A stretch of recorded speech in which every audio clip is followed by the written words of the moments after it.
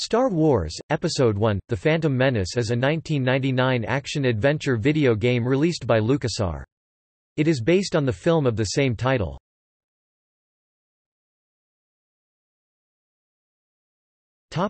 Plot The plot closely follows that of the film, although it expands on some minor events that could have been silenced or cut from the film, or shows them from a different character's point of view.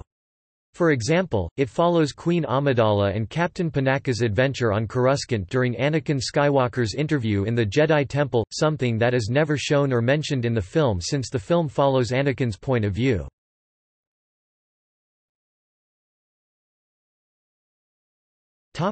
Synopsis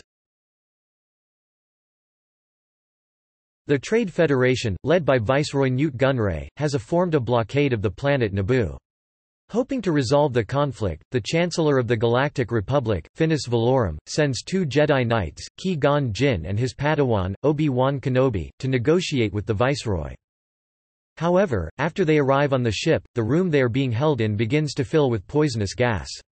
Realizing it is an assassination attempt, the two Jedi escape the room and fight their way through the ship, battling the Trade Federation battle droids.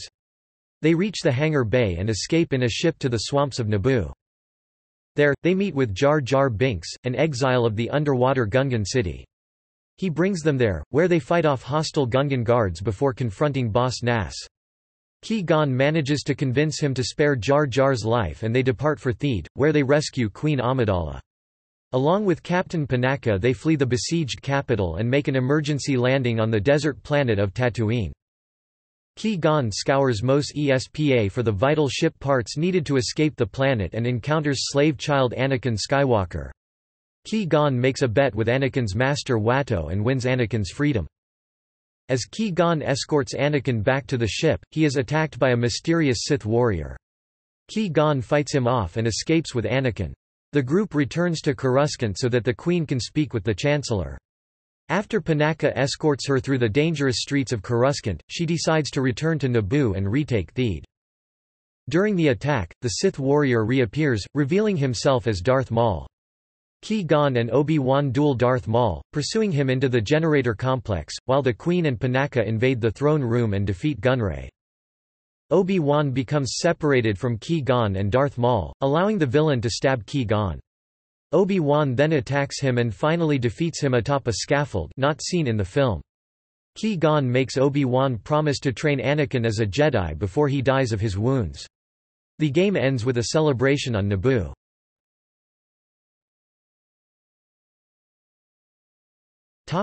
Gameplay The player gets to play as either Obi-Wan Kenobi, Qui-Gon Jinn, Queen Amidala or Captain Panaka, depending on the level.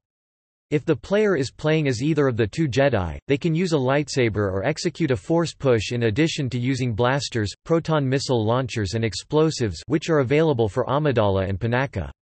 The player may also encounter and interact with other non-player characters. Throughout the game, the player will be fighting against Darth Maul, Trade Federation battle droids, AATs, Tusken Raiders, etc.